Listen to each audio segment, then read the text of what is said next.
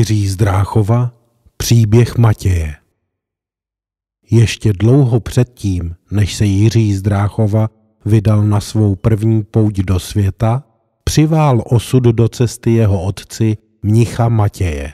O tom i všem, co tomu předcházelo, se dozvíte v následujícím příběhu.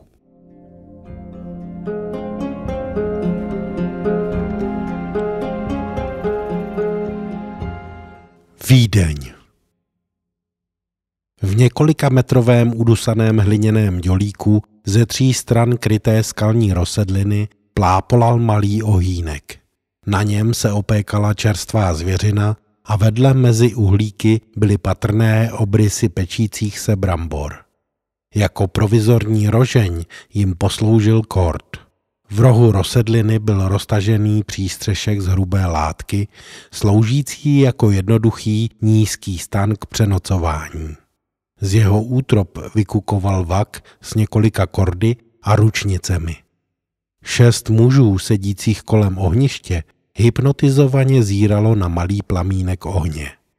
Všichni byli evidentně vojáci, avšak v lehkém oděvu, umožňující jim rychlý pohyb.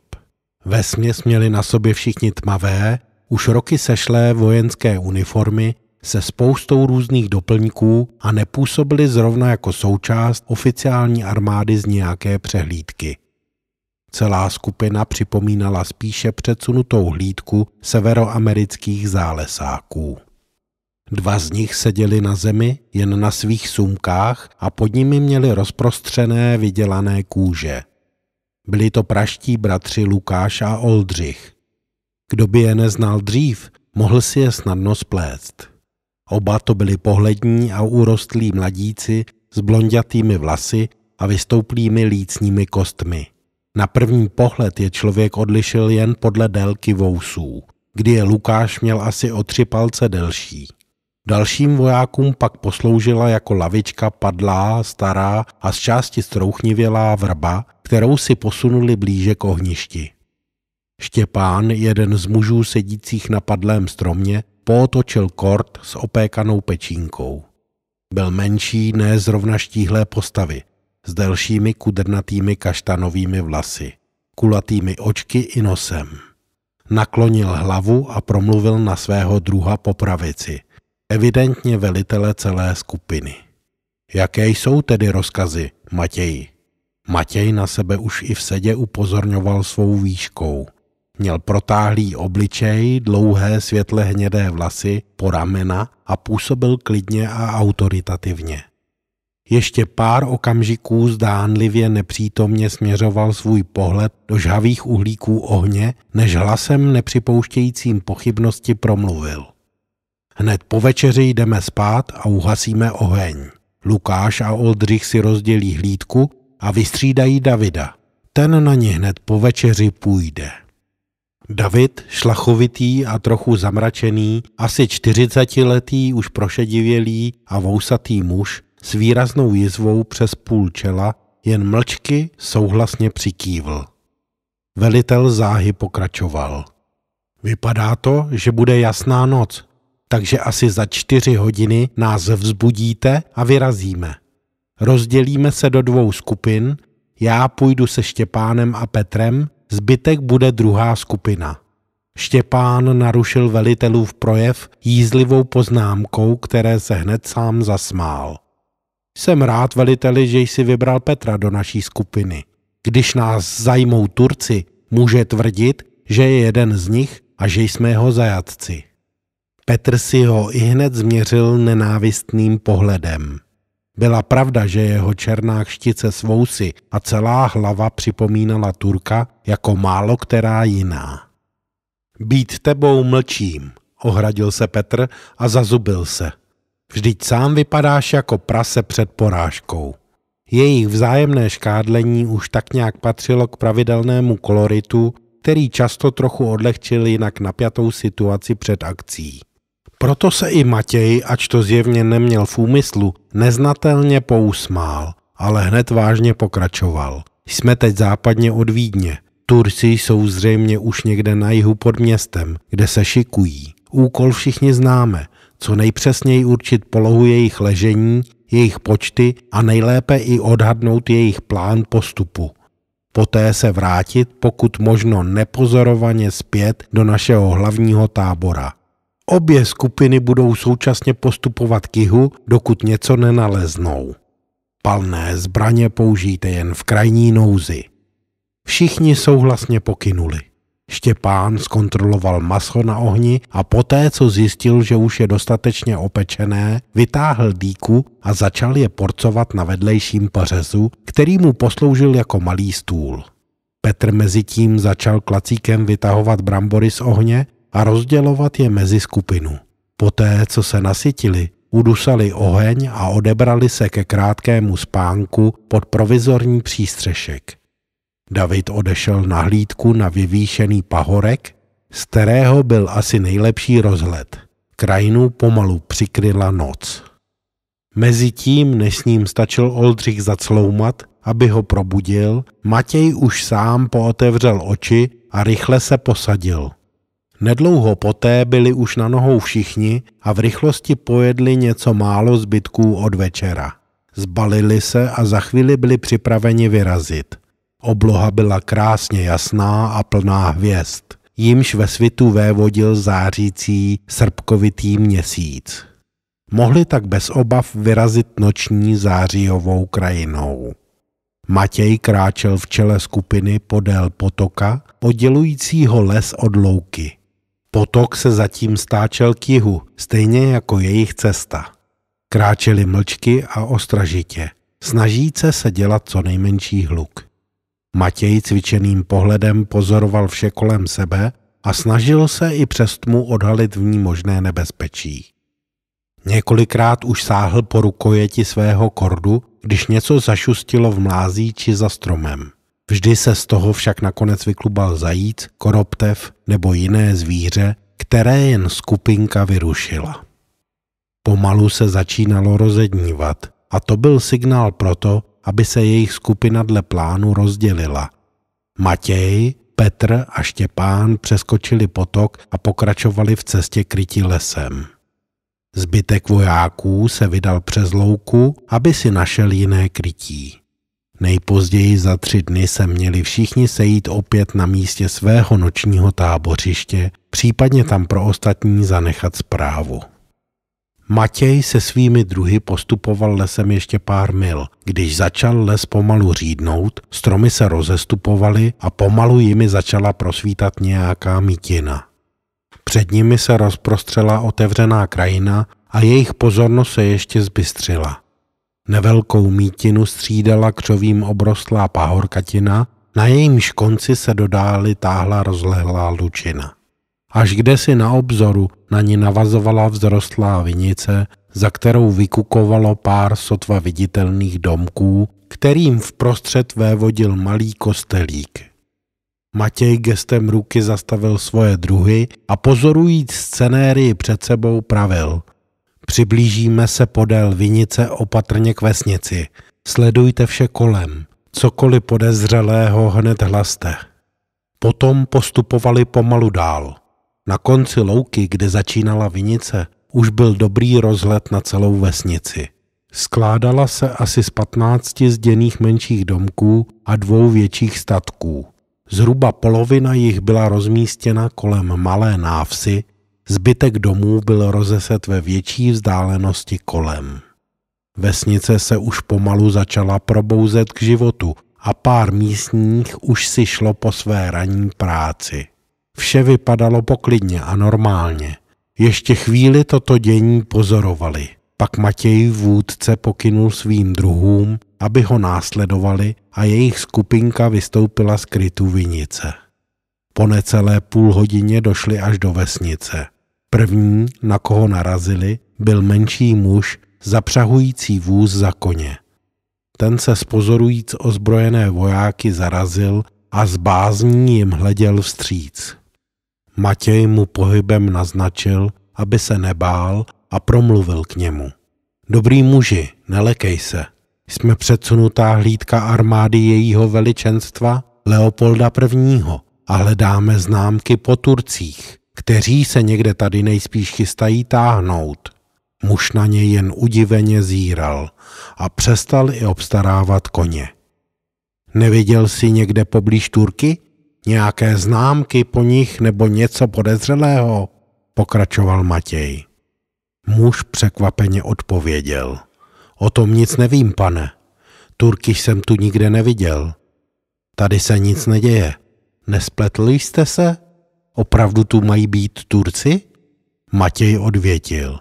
Díky, ještě mi prozrať, co je odtud dál na jich. Myslím krajina a vesnice. Teď pár mil nic, pane. Jen viná réva a luka. Poté začínají kopce a tam je malá horská vesnička. Vlastně jen pár roubených domků. Rozloučili se tedy s vesničanem a pokračovali dále. Po chvíli jim vesnice na dobro zmizela z dohledu. Krajina se pozvolna měnila, louky vystřídal kopcovitý reliéf s bukovo-smrčinovým porostem. Pohodlnější by bylo vyhnout se kopcům, ty ale představovaly dobrou možnost rozhledu po kraji. Proto se vydali po jejich vrcholcích, přesto se ale snažili cestou co nejvíce krýt, jak jim to jen umožňoval terén. Když vystoupili už v pořadí na třetí kopec, spatřili v dáli na obzoru horskou vesničku, o které mluvil vesničan.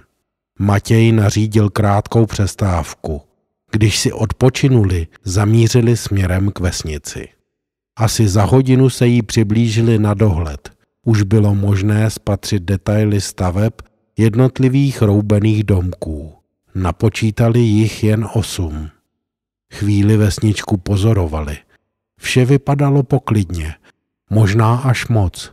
Nikde nebyl vidět žádný člověk ani pohyb. Matěje to trochu zarazilo a pronesl ke svým druhům. Nikdo nikde, to je divné. Je tu jen pár chalup, třeba jsou všichni někde za prací, odvětil Petr. Snad, odtušil Matěj, ale buďte opatrní. Rozdělíme se a prohlédneme domy. Poté Matěj vytasil svůj oblíbený španělský kort, ujistil se, že má připravenou dýku i pistoli a vyrazil vpřed. I ostatní si rovněž zkontrolovali zbraně a následovali ho. Matěj postupoval středem, Petr se Štěpánem každý po jedné straně. Jako první se přiblížil k jedné z roubenek Petr – Matěj paralelně sledoval, že z prudka rozrazil dveře domu a zmizel uvnitř. Poté vše utichlo. Jeho zatím od dalšího asi největšího stavení dělilo sotva dvacet kroků. Když se přiblížil k oknu, přikrčil se a opatrně nahlédnul dovnitř.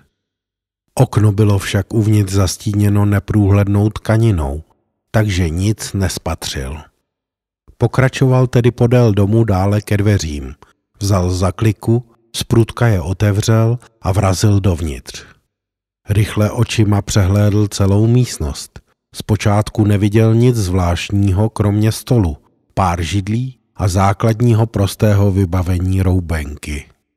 Když však udělal další krok, uslyšel slabý tlumený zvuk a v zápětí už spatřil v temném rohu místnosti postavu. Během zlomku vteřiny pochopil, že to není nikdo z místních vesničanů a už se na něj i upíral zlověstný pohled černých tureckých očí. Turek šátrající v truhle pod zadním oknem i hned sáhnul po odložené šavly. Pozdě. Než ji stačil pozdvihnout a použít, proklála mu čepel Matějova kordu hruď.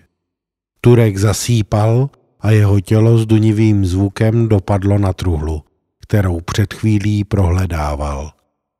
Než se Matěj spamatoval, z druhé místnosti domu na něj svědčivým řevem vyrazil další. Jen o zlomek palce se Matěj vyhnul ráně jeho šavle a hned uskočil stranou. Zorientoval se, získal trochu času a připravil se na další výpad. Další ránu šavlí tak už vykryl jeho kort. Obě zbraně se do sebe na okamžik zaklesly. Přesně tu vteřinu využil k tomu, aby mu zkušeným pohybem proklál dýku do levého boku. Turek se v bolesti celý zvrátil ku straně. Matěj své dílo dokonal. a čepel jeho kordu mu tentokrát pronikla do druhého boku. Jeho tělo se v posmrtné křeči zhroutilo k zemi. Matěj o krok poodstoupil. V tu chvíli uslyšel za sebou tupý zvuk jakéhosi máchnutí a zároveň ucítil palčivou bolest na zátilku. Skácel se bezvládně k zemi. Minuty či hodiny prázdna. Najednou se vrátilo vědomí spolu s ukrutnou bolestí hlavy. Trvalo ještě, než si uvědomil, kde to vlastně je a co se stalo. Nemohl se pohnout. Ucítil na sobě čísi ruku. Ruka ho však nechtěla zabít. Pravděpodobně si dotyčný myslel, že už je mrtvý. Ruka nahmatala jeho váček s penězi, připevněný na opasku a utrhla mu jej. Uslyšel pomalu se vzdalující kroky. S námahou otevřel oči. Zbytek jeho vědomí přemýšlel, zda už na dobro není v pekle, protože právě spatřil svého druha Štěpána, jak tiskne v ruce jeho váček s penězi a kráčí ke dveřím. Chraptivě vyřkl jeho jméno. Štěpáne! Ten se na okamžik zarazil a z prudka se otočil. V jeho očích byl stud i zděšení. Matěj se do nich zahleděl pohledem soudce a zmáčkl kohoutek své pistole. Prostorem zaduněl výstřel a kulka Štěpánovi vnikla do těla kousek pod pravým ramenem. Ten zavrávoral a udělal pár kroků k ležícímu Matějovi. Podlomily se mu ale nohy a začal padat k zemi. Chtěl ještě při pádu zasáhnout kordem Matějovo tělo. Ten se však překulil na bok a smrtící hrot jeho tělo minul. Sám se však dál řítil k zemi. Když dopadl, vězela mu v hrudi dýka a jeho tělo dopadlo na svého velitele. V tu chvíli jako by se vše zastavilo a Matěj spatřil zvláštní záblesk na pozadí svých očí. Zdálo se mu to jako věčnost. Poté opět ztratil vědomí. Snad uplynulo pár minut, možná i hodin když znovu přišel k sobě. S námahou ze sebe odstrčil Štěpánovo bezvládné tělo. Cítil, že má celý obličej potřísněný jeho krví. Bolest hlavy mu pronikavě vystřelovala do celého těla, ale byla ještě snesitelná. Pokusil se vstát. Při prvním pokusu se mu podlomily nohy, na podruhé to však už zvládl. Otřel si svou dýku a zasunul ji za opasek. Ostatní zbraně nechal kde byly a vypotácel se ven. Všude byl stejný klid jako předtím. Zamířil hned ke srubu, kam předtím směřoval jeho druh Petr. Otevřenými dveřmi vstoupil dovnitř. Našel tu tři mrtvá těla.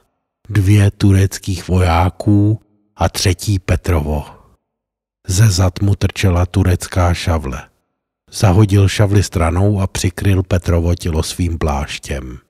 Navíc nebyl čas. Na okně uviděl malý čber s vodou. Napil se a omyl si obličej. V kuchyni sebral ještě pár kukuřičních placek a vyrazil ven. Mířil zpátky k místu, kde se měli sejít s druhou částí průzkumné skupiny. Kvůli zraněním musel často odpočívat a návrat zpět mu tak trval skoro dvojnásobek času než cesta tam. Další dva dny strávil na místě čekáním na zbytek skupiny. Zatím měl alespoň dost času nabrat síly a zotavit se. Třetí den ráno vyšli z houštiny Vladan, Jan a David a našli svého velitele v tomto zbídačeném stavu. Sami po Turcích neobjevili žádnou stopu a tak se vrátili zpět. Velitel jim vylíčil, co se stalo. Nikdo z přítomných nemohl překousnout ani pochopit Štěpánovu zradu. Matěj jako by se sám chtěl dobrat nějakého vysvětlení, pokrčil rameny a jen konstatoval. Myslel si, že už nežiju, tak čemu by mi byl váček s penězi? David si odplivl. A je ještě něco, co vám musím říct, a o něco vás požádat, pronesl s podivnou naléhavostí. Všichni spozornili a zadívali se s napjatým očekáváním na svého velitele. Matěj s vážností pokračoval. Ještě něco se tam stalo. Něco ve mně se tam změnilo. Neumím to vysvětlit. Jediné, co vím, je, že můj boj už skončil. Už nikdy nedokážu ani nechci nikoho zabít. A vracím se domů. Všichni tři se na sebe udiveně podívali a chvíli zadumaně mlčeli. Poté promluvil David. Nevím, co se ti stalo a nerozumím tomu. Ale už dlouhou dobu jsi náš velitel.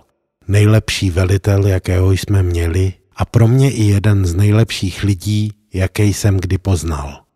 Máš moji naprostou důvěru, takže ti věřím, přestože to nechápu a jen řekni, co máme ještě udělat. Čekáme na tvůj poslední rozkaz. I Lukáš s Oldřichem souhlasně pokývli. Matěj dlouze stiskl Davidovi ruku. Díky, příteli. Prosím vás tedy jen o jedno. Vraťte se zpátky do našeho ležení a předejte informace, které jsme zjistili. Jen k ním ještě přidejte to, že jsem v té horské vesničce také padl a že jste mě tam objevili spolu s dalšími. David se mu dlouze zadíval do očí a přitakal stejně jako jeho dva zbylí souputníci. Snad se ještě někdy potkáme za lepších okolností, dodal na závěr jejich bývalý velitel. Poté si ještě naposledy podali ruce, rozloučili se a rozdělili.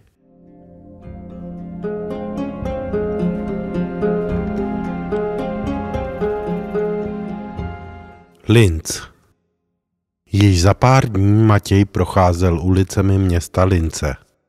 Cestou se mu podařilo za úplatu směnit jeho starý vojenský mundur za civilní oděv. A stejně jako vítr honil listí dlážděním ulic města, tak i jemu se honili pořád dokola v hlavě události posledních dní. Přes město se v tu dobu valily hordy vojáků, dobrodruhů a obchodníků, co z toho také chtějí něco vytěžit.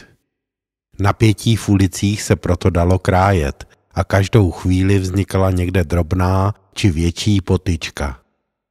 Ach, jak dobře to znal a kolikrát už dříve musel uklidňovat čarvátku, vyvolanou některým ze svých vojáků.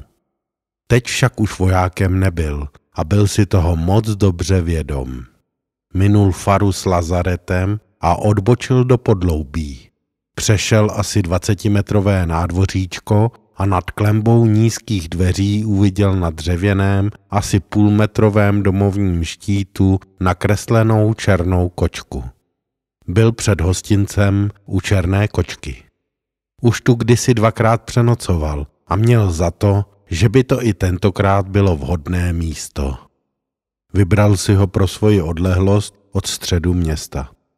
Z tohoto důvodu tu nikdy v minulosti nebývalo moc lidí a on zrovna netoužil po společnosti či zviditelnění. Zhýbil se před nízkou dveřní klembou a vstoupil do chodby. Po pár metrech zahnul vpravo a vešel do hlavního nevelkého sálu hostince. Pokynul šenkýři a jeho mladé pomocnici, možná i dceři na pozdrav a usadil se stranou do rohu u malého dubového stolu pro dva. Hlavní prostor šenku byl téměř poloprázdný. Byly obsazené jen dva stoly z osmi. U jednoho se právě napájelo několik mladíků, zřejmě studentů, u dalšího pak seděli dva postarší muži. Po chvíli už byla mladá žena z výčepu u něj. Byla to usměvavá, drobná blondýna plných tvarů. Opětoval jí úsměv a objednal si sklenici vína a jehněčí maso s krajícem chleba. Po chvíli už stálo na stole víno a vzduchem se linula vůně jehněčího masa. Napil se vína a s chutí se zakousl do pečínky. V duchu si už představoval, jak co nevidět překročí české hranice a už brzo bude doma u svojí rodiny. Jak obejme Marii i malou Magdalénku a přivítá se s bratrem. Poklid v hostinci však neměl dlouhého trvání. Dveře šenku se pojednou rozrazily a s bujarým řevem dovnitř vpadla banda šesti opilých vojáků. Zabrali dva velké dubové stoly uprostřed místnosti.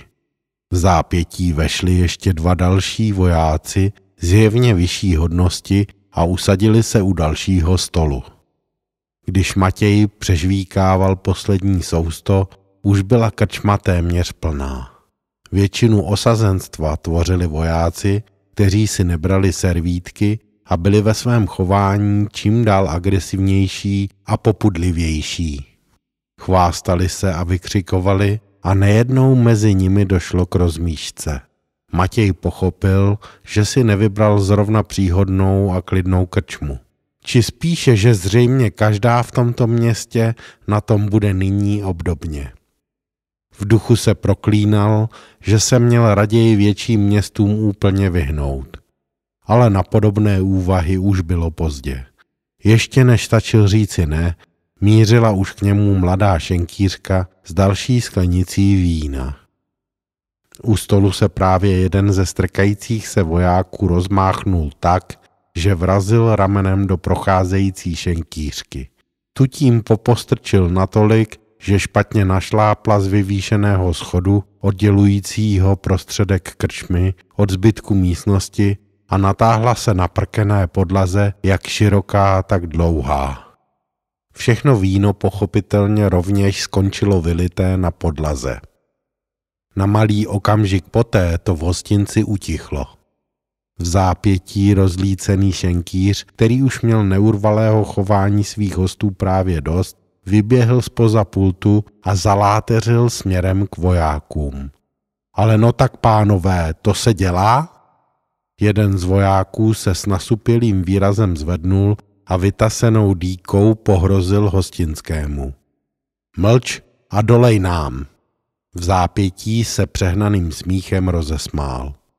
Matěj se zvedl a postavil na stůl sklenici od vína, která se zakutálela až k jeho nohám. Poté podal ruku mladé šenkýřce a pomohl jí vstát. Ta mu laskavost oplatila milým úsměvem a cudným pokývnutím. Ostatní vojáky, kteří vše sledovali, však jako by ta scéna rozvášnila ještě více. Jeden z nich upřel na Matěje o povržení hodný pohled a vyštěkl.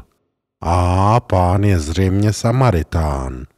Matěj tomu nevěnoval pozornost, opět se posadil a naznačil šenkýřce, že už si nic nedá a zaplatí útratu. Ta přikývla na souhlas a vracela se zpátky s prázdnou sklenicí od vína. Vzpůrný voják díky němuž upadla, jí však cestou za pult popadl za ruku a přitáhl si ji z průdka k sobě.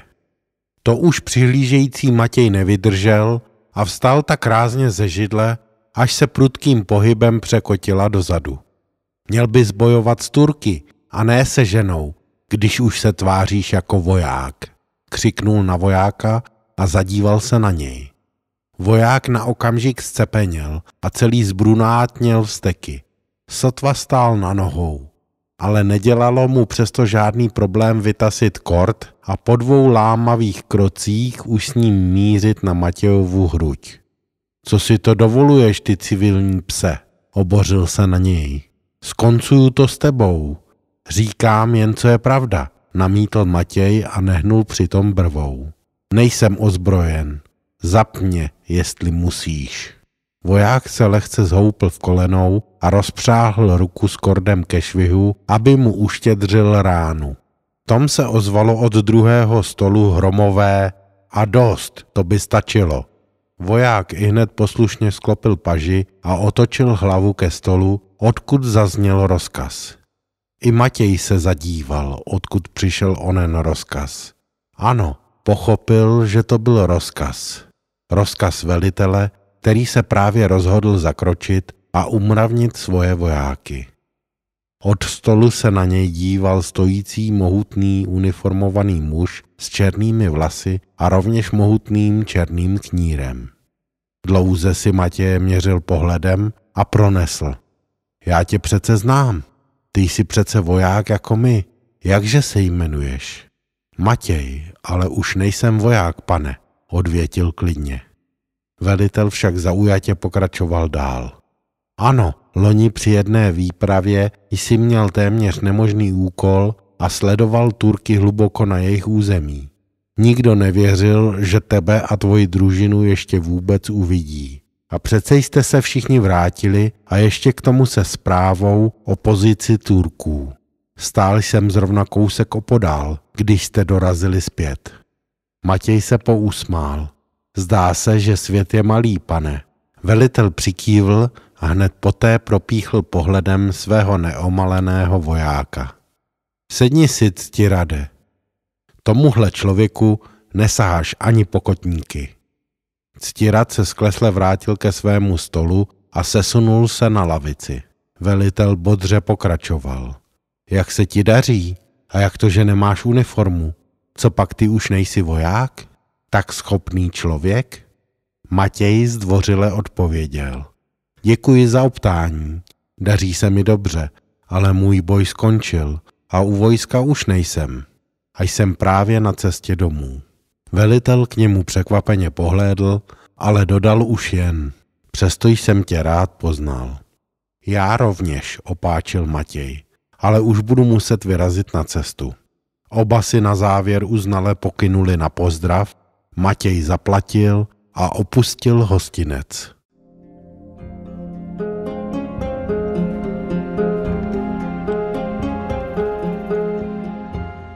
Borotín Mezi vrcholky stromů se na chvíli rozestoupila mezera a do očí mu zazářily paprsky pozdně odpoledního slunce. Rukou si zastínil oči, podíval se do dály a zhluboka se nadechl. Dnes měl za sebou už pěkných pár mil a nemohl se už dočkat vytouženého domova a svých blízkých. Proto po celý den nepolevoval v chůzi. Po chvíli vystoupal na mírné návrší, lemované z jedné strany obilným lánem a z druhé nízkým lesním porostem. V dáli se mu otevřel dobře známý pohled na siluetu majestátní hradní zříceniny. Před ním se tu vypínaly zbytky kdysi jistě mohutného zdiva hradu Borotína. Ach, jak rád je opět viděl. Byl doma. V podhradí už vykukovalo i pár střech stavení, včetně místní kovárny. Vše vypadalo na vlas stejně, jako když to tady naposledy skoro před rokem opouštěl.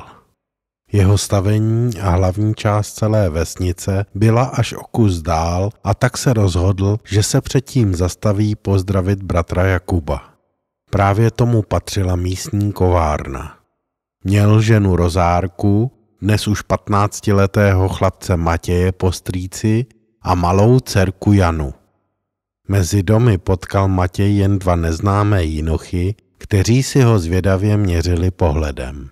Pokynul jim na pozdrav a dál se rychle přibližoval po pěšině ke kovárně.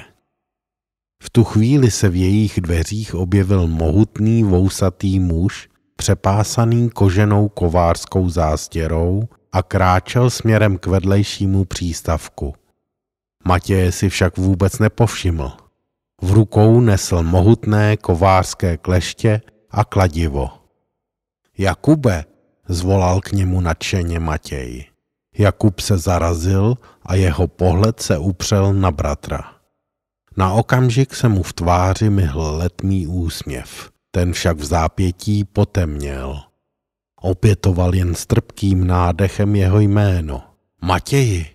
Matěj vyrazil k bratrovi. Už byl u něj.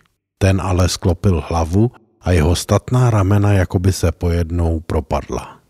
Matěj s ním začal cloumat a z úse mu vydralo jen sípavé, co je s Marií a Magdalénkou. Jakub pozdvihl hlavu a upřel nešťastný pohled na bratra a skoro šeptem odvětil – je to sotva pár měsíců. Šlo to ráz na ráz. Doktor si vůbec nevěděl rady. Záchvaty kašle, horečka, vysílení. Nic nepomáhalo. Malá Magdalénka to vzdala jako první a tvoje žena nedlouho po ní. Chtěl jsem ti to napsat, ale nedokázal jsem to. Stejně jsme nevěděli, kde jsi. Jen co domluvil, tak statný kovář sklopil hlavu. Matějovým tělem, jako kdyby v ten okamžik projelo tisíc nožů. Jen zavřel oči a bezvládně klesl na kolena. Jakub poklekl k němu a bratra objal. Druhý den seděli u oběda v setnici vedle kovárny. Jakub se ženou i dětmi i jejich strýcem. Vzduchem se nesla vůně pečínky, správě upečené slípky a čerstvého chleba. Dnes se však děti neškorpily jako obvykle. Jen tiše ujídali a pozorovali strýce. Ten však pozřel sotva pár soust. Nepřítomně koukal do misky. Hutná atmosféra by se dala krájet. Až to najednou rozárka nevydržela a promluvila na švagra. Byla jsem u ní, když se to stalo. U obou téměř po celou dobu. Jak to jen šlo. Tvoje holčička skoro netrpěla. Měla tak vysokou horečku, že upadla do mdlob a vůbec o sobě nevěděla. Jen tě několikrát volala. Matěj neznatelně přikývl a dodal. Děkuju vám za všechno, ale měl jsem tu být. Tvoje hospodářství běží, pronesl do ticha Jakub. Já i Matěj jsme na něj dohlíželi a čeledíni všechnu práci zastali. Můžeš se tam kdykoliv vrátit a převzít ho. Nebo zůstat u nás, jak dlouho chceš, bratře. Matěj už na dobro odstrčil misku sídlem a dlouze stiskl bratrovi ruku. Obě Jakubovi děti vstali od stolu a jali se lásky plně obejmout strýce. Po obědě se oba bratři posadili na zápraží. Matěj tiše, ale rozhodně promluvil. Zůstanu ve vašem pohostinství jen do zítra, bratře. Teď se půjdu podívat na hrob a na statek. Na večer naštívím ještě pár starých přátel z vesnice. Nezůstanu zde, zítra odejdu. Sepíšeme listinu a statek a vše, co tu mám, připadne tobě. Hospodař s tím dál, anebo vše prodej, je to na tobě. Jakub se na bratra udiveně zadíval.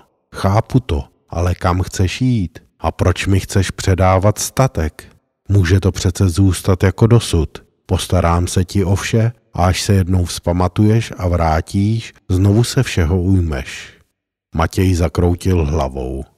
Ne, ne, milý Jakube, uděláme to, jak jsem pravil. Vše připadne tobě. Nalož s tím, jak uznáš za vhodné. Moje cesta teď vede jiným směrem. Jakub přikývl. Jak myslíš, bratře? Přeji ti, ať zase nalezneš štěstí. U nás máš dveře vždycky otevřené.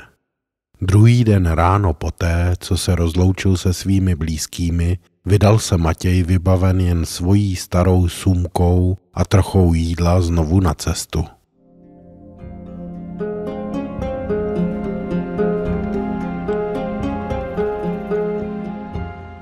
Bechyně Kráčel s přestávkami již od brzkého rána po proudu řeky Lužnice a užíval si cestu.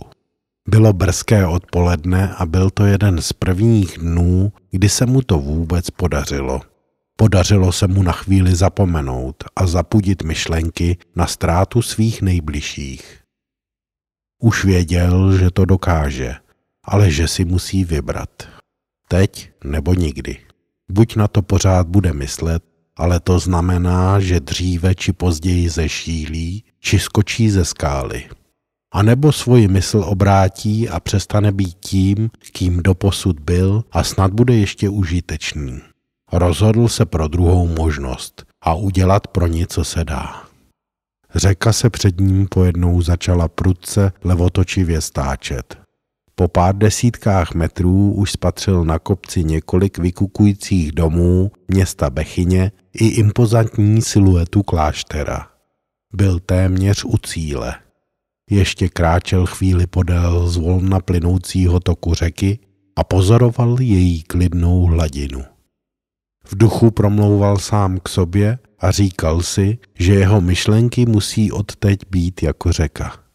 Vody řeky také tečou poklidně dál, ať protékají městem nebo lesem, kolem luk či skal. Voda plyne dál, děj se co děj a na tom se nic nemění. Ze vznešených úvah ho vyrušilo mohutné šplouchnutí o vodní hladinu jen kousek za ním. Když se otočil, spatřil už jen kruhovité vlnky, které velká ryba rozvířila na hladině. V zápětí už viděl úzkou vyšlapanou pěšinu, linoucí se pruce vzhůru a odbočil na ní. Nedlouho poté zdolal závěrečný prudký sráz a ještě trochu zadýchaný najednou stanul na dlážděné ulici města. Jen kousek před ním se tyčily zdi starého františkánského kláštera spolu s kaplí. Popošel podél zdi, až spatřil masivní dubovou bránu s mohutným kováním. Zkusil vzít za kliku, ale bylo zavřeno. Zabušil proto pěstí na vrata. Ticho. Za okamžik se v dáli za zdí ozvaly blížící se kroky. Mohutné dveře se se skřípěním pomalu otevřely. V nich stál postarší menší mnich ve františkánské sutaně. Stáhnul si kápy dozadu, upřel na Matěje tázavý pohled a pravil. Bůh s tebou, pane, čeho si žádáš? Matěj pomalu a rozvážně odvětil. I s tebou, mnichu, Rád bych si promluvil s představeným tohoto kláštera v osobní věci, je-li to možné. Myslím, že by to možné bylo, pane, ale pojď dále a okamžik posečkej. Za chvíli končí modlitba, optám se bratra Opata. Dobrá, přikývl Matěj a vstoupil dovnitř na malé nádvoříčko. Než se stačil pořádně rozhlédnout kolem, už se otevřely dveře nedaleké kaple a z ní začaly postupně vycházet mniši. Většina z nich šla se sklopenou hlavou a vůbec Matějovi nevěnovala pozornost. Matěj pozoroval, jak mnich, který mu předtím otevřel, přistoupil k poslednímu vycházejícímu z kaple a promlouval k němu. Poté ukázal na Matěje a vzdálil se spolu s ostatními kde si v útrobách kláštera. Představený kláštera pomalu přistoupil k Matějovi. Byl to asi šedesátiletý vysoký muž s prošedivělými skráněmi, protáhlým obličejem, dlouhým nosem a uklidňujícím pohledem. Lehce Matějovi pokynul. Prý si chceš promluvit, pane. Prosím, následuj mě.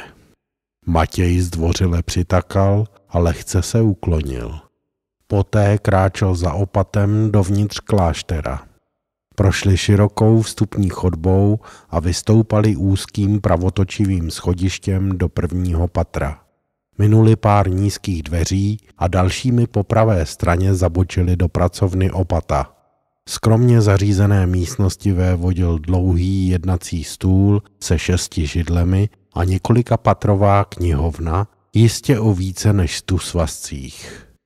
Opat Matějovi pokynul, ať se posadí a sám si sednul naproti němu. V zápětí ho vyzval. Jak ti mohu já nebo náš klášter pomoci, pane? Matěj si trochu nervózně poposedl. Jsem Matěj z Borotína. Kdysi jsem od jednoho přítele slyšel o tvé moudrosti a rovněž je mi blízké smýšlení a konání vašeho řádu.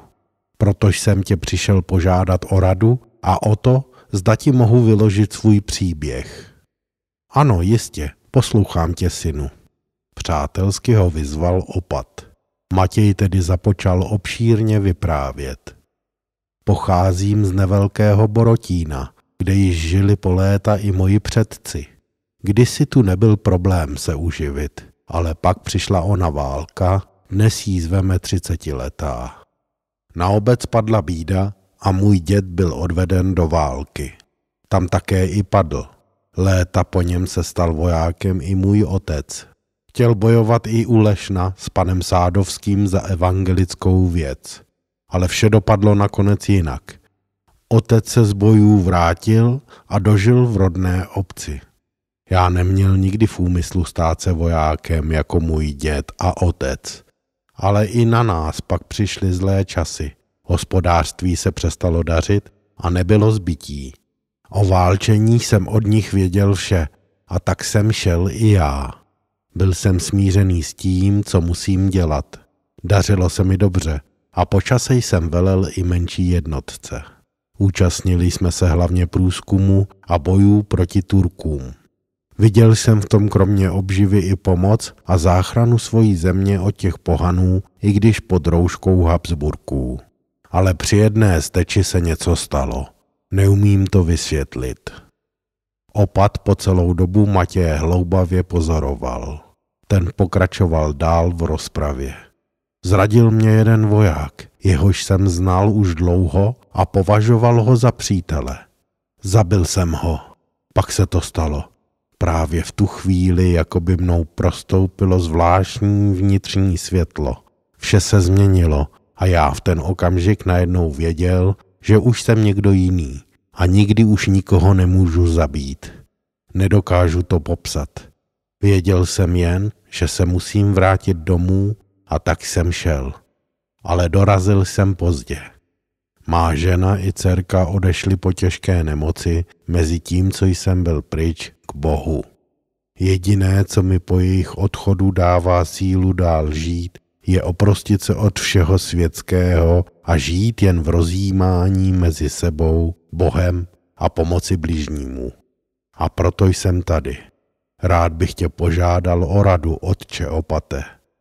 Matěj pohlédl na opata, aby naznačil, že jeho příběh právě skončil. Opat mu lehce soustrastně pokynul a dlouze se zamyslel. Poté pravil. Soudím, že jsi slušný a uvážlivý muž a vím, že cokoliv si zatím činil, muselo tak být. Vidím, že lituješ svých hříchů a hledáš cestu k Bohu i k sobě. Není však možné, aby si se svojí minulostí vstoupil k nám do řádu. Přesto však pro tebe mohu něco udělat. Dám ti požehnání, radu a navrh přidám naši františkánskou kutnu. Věřím, že to, co hledáš, nalezneš. Vezmi si naši sutanu z kápí a odejdi hledat Boha a lásku. Vystupuj jako jeden z nás. Věřím, že v očích Boha jím i jsi.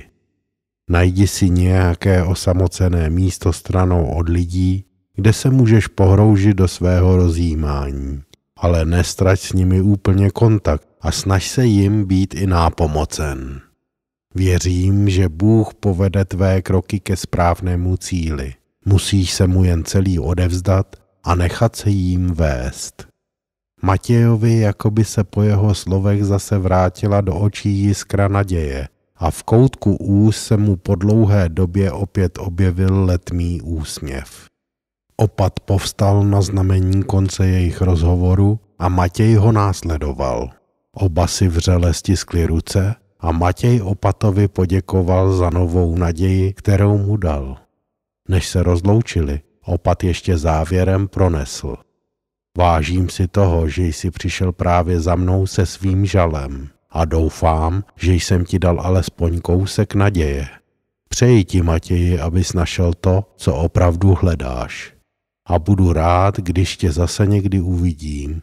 Budu se za tebe modlit. Poté jej opat doprovodil zpět k východu a za Matějem se opět zabouchly dveře kláštera.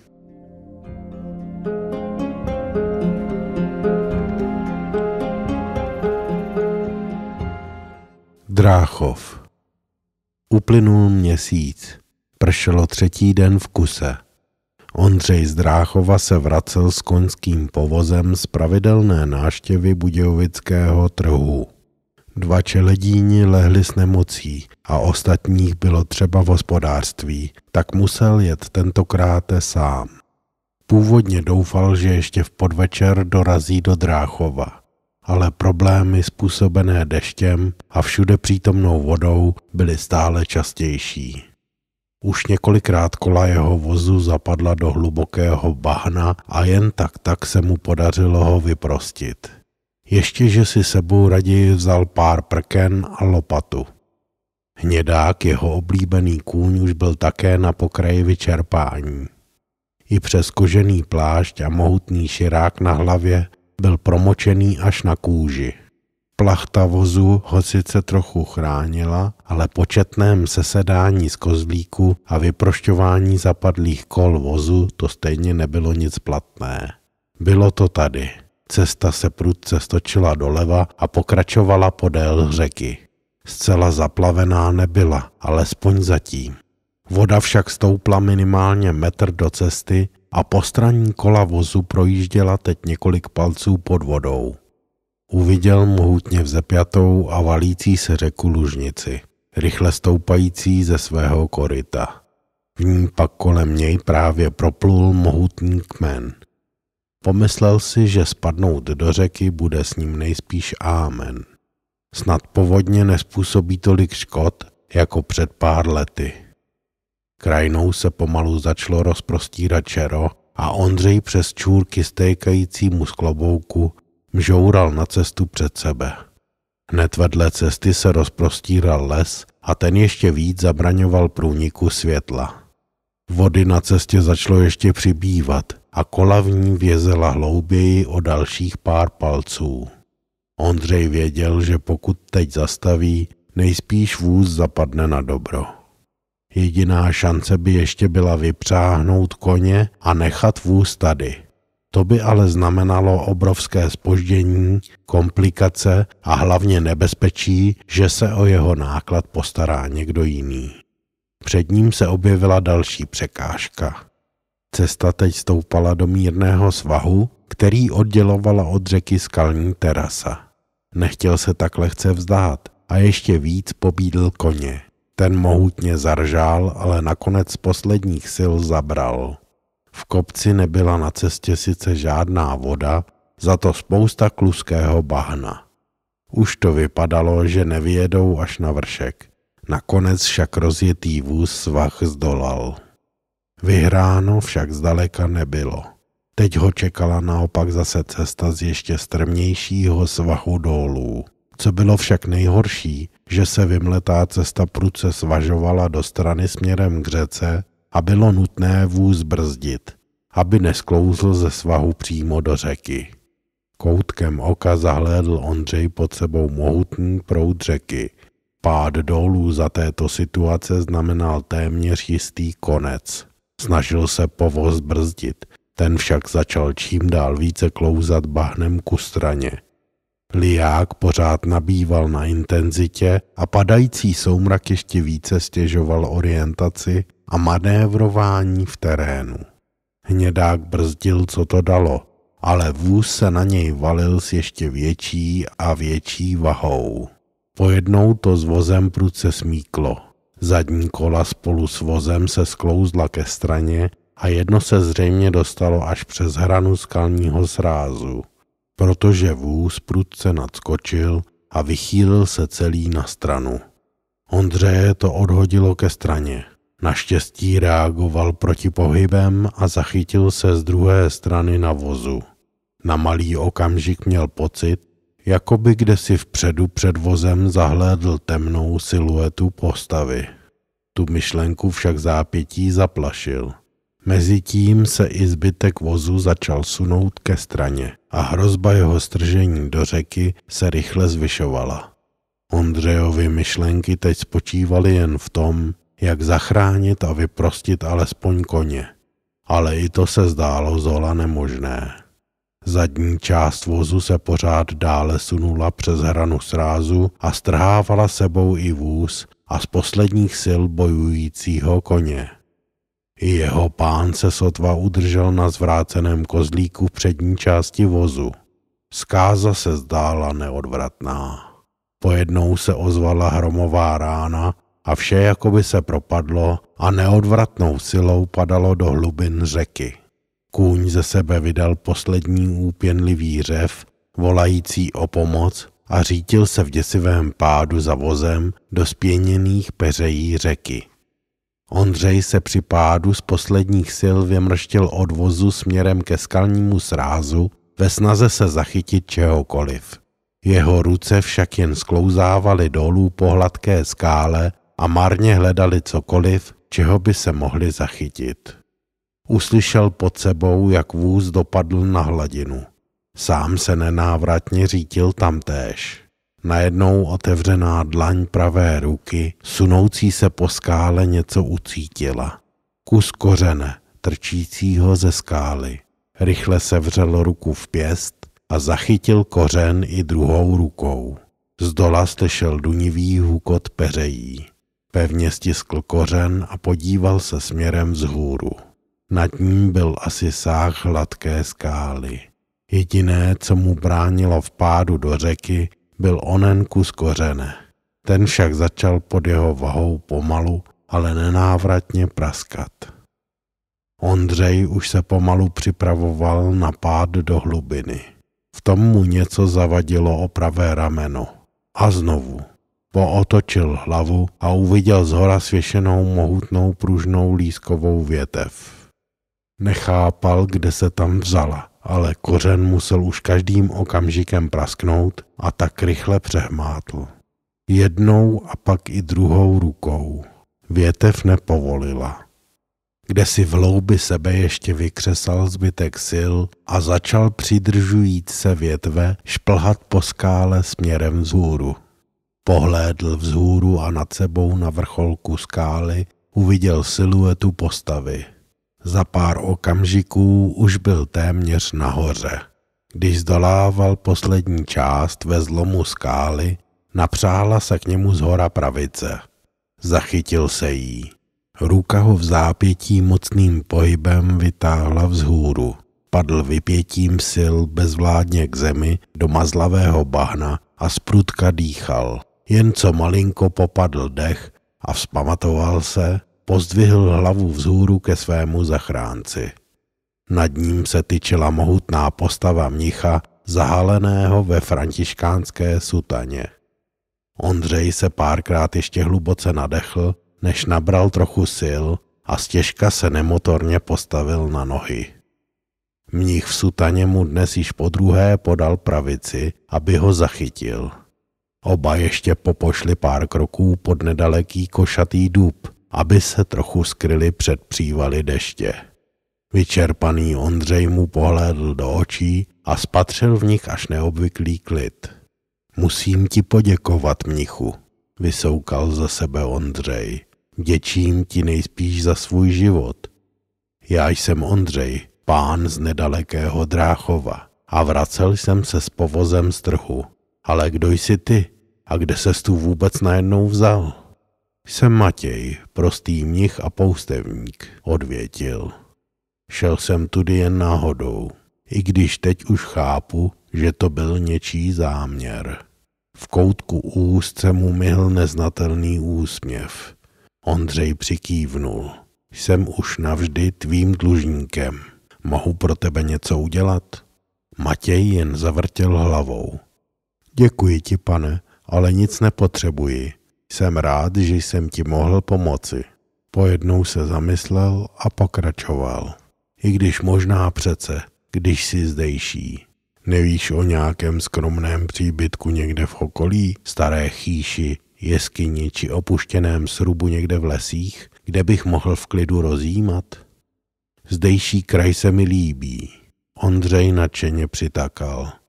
Nechám ti někde na pokraji lesa postavit srub či dům. Matěj se poprvé zamračil a důrazně zavrtěl hlavou. To ne, pane, jen skromný malý příbytek. Na tom musím trvat. Dobrá, ať je tedy po tvém. Přitakal mu Ondřej. O něčem takovém bych také věděl, ale teď pojď za mnou. V tomto nečase tady nemůžeme zůstat. Kousek odsud bydlí lidé, co nám jistě poskytnou přístřeší na noc. A zítra mě pak musíš doprovodit domů. Chci tě představit svým synům. Jednomu táhne na patnáct a ten druhý je okrapet mladší a poté ti ukážu ten tvůj nový příbytek. Matěj souhlasně přikývl a oba se vydali na cestu. Déšť začal pomalu ustávat. Na základě inspirace historickými prameny napsal Ondřej Kalivoda. Četl Luboš Kocourek.